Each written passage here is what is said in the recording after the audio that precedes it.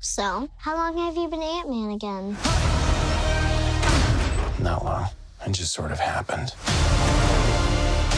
I wish I could fight bad guys like you. I seem to mess it up almost every time.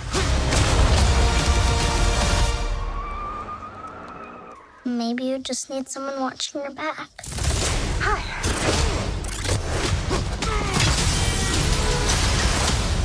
Like a partner. Dr. Pym, I actually heard what happened to you.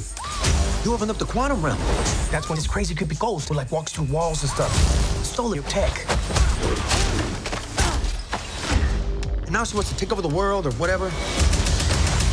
Who would have believed that in your hour of need, you would turn to us? Not me. I mean, because we robbed you. Do you remember? That's us. The only chance we've got is both of you. Ant-Man and the Wasp teaming up. Follow my lead.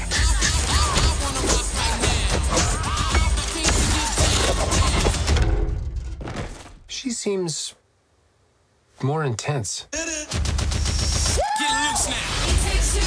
No, no. You go low, I'll go high. I have wings. Why would I go low?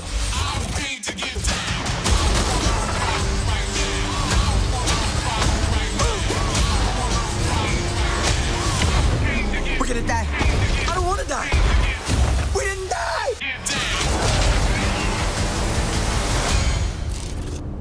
Hey, what'd I miss? We were just tiny.